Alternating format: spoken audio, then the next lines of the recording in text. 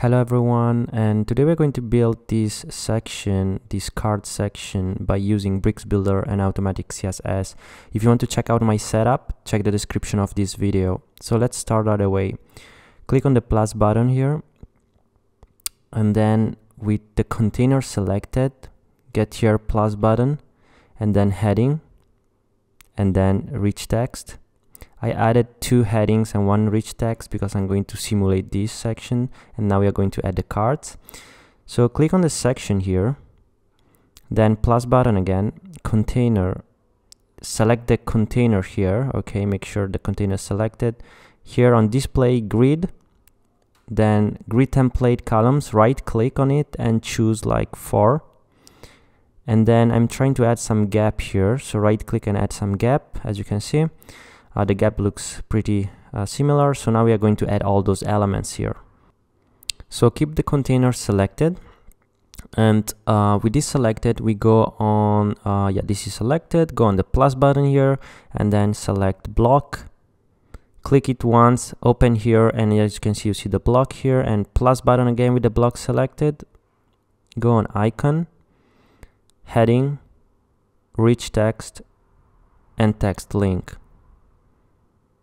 so now we have all of those here into the block. Okay, let me check the design very quickly.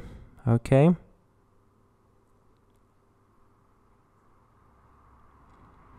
I'm going to copy the text to make it more similar to the design. So just copy the text and paste it by selecting the title. Copy this other text here and then select the text box and of course paste it. I'm doing the same with the card. Okay, so I cut the video because I was messing up with the copy and paste. So again, mm, select the text and just select uh, the items here on the video uh, and paste it. And as you can see everything then works fine. Copy the, small title and I'm going to add it here. Okay so we have the content. I'm not doing the copy and paste for each uh, of the other cards. So first of all I'm changing those because it was not correct. Okay so then click on the first title here this one and change the HTML tag to uh, h5 or h4 as you wish because it's a smaller and less important title. Then this one uh, I can keep it h2 because it's very similar to this one. So okay click on the text box and as you can see the text box is a little bit is not so wide. So here is too wide. So I'm going to select this text box, uh, go on, um, first of all, typography. I'm going to change the color of it. Um, and then also um, layout now and go on the width. And here we are going to change the width, right click and just type L. Uh, and that's okay for me. Um, great. So now it's more similar, right? And now um, we need to go on section here on the top right and then we go on content tab and on row we are going to add uh, maybe a XL okay? Then close here and go on the first container row gap right click on it and just type XS and then the second container we have the block select the block and on the block row gap again right click and choose the desired spacing. XS would be fine. Okay, so let's start by the icon now. So select the icon, make sure uh, the icon is selected. But before doing that, go on BEM. With automatic CSS, you are able to do this, but if not, you need to do it manually. Uh, so I'm going to add um, the classes naming. This will be adding on all the items, okay?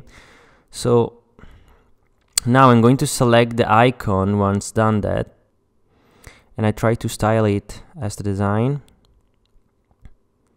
Okay, so it has rounded um, corners and you know a little bit of padding. So you can also upload your SVG, but you know to go faster, I'm going to choose a random icon from here. Uh, let me check if I find something.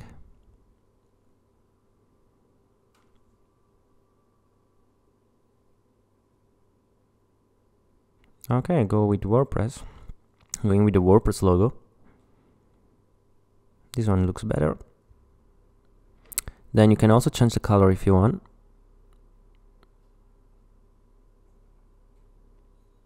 Uh, I'm doing it white because I'm going to change the background of of it. So click on here. Make sure this is activated. I forgot before so I'm going to close this and just remove the styling here and click here now and now add the color white. I apologize. Okay so now get on style. And then um, on padding I'm going to I'm sorry on background first I'm going to um, add some color. Okay so now I can get on padding. So I see something. Click twice on this little icon and then right click here and just select the padding you desire and now as you can see we have some padding. So the icon is actually too big so I'm going to put 2 EM for example. Now the icon is smaller or 1.5 EM you can choose which size you wish. Okay 1.4 in this case style. And on padding um, I'm going to make it a little bit smaller like with XS now it's a little bit better. So uh, border click here right click here and just choose a radius uh, in this case I'm going with the S and I'm clicking here once and then select the title here click on the class here to activate it, it okay and then choose the um, typography tab here right click choose the sizing of the title like um, let me check maybe M looks looks more similar. Click on the text here.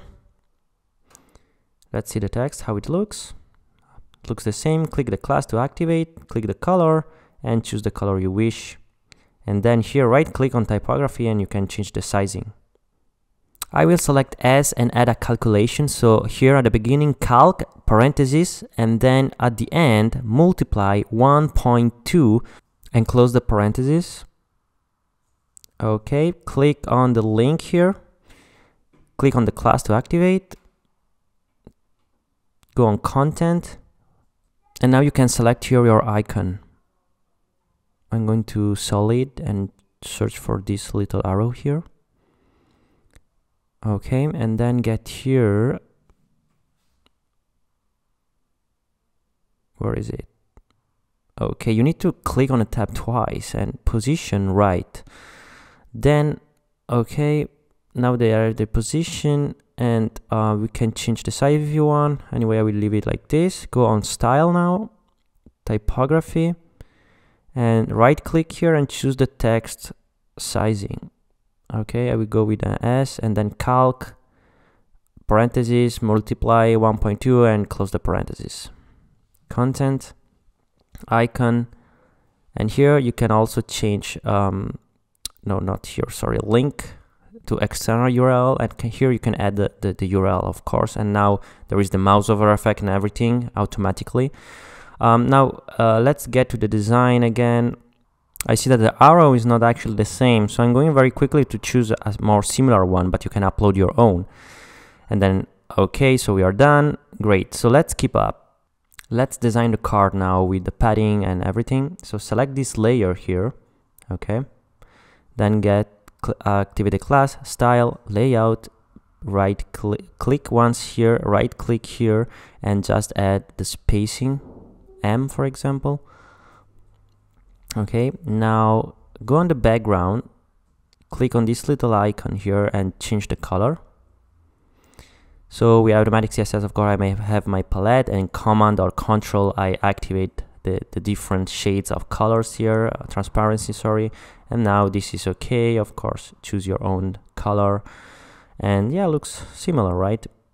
So close the tab here go on border click here and then right click here and choose the radius S and then click once here to apply everywhere. Okay get on content. And let's say I want to change the spacing between the icon and the title. So select the icon here plus button and then we can add a spacing like a divider in this case. Let me search for it divider. Here is it.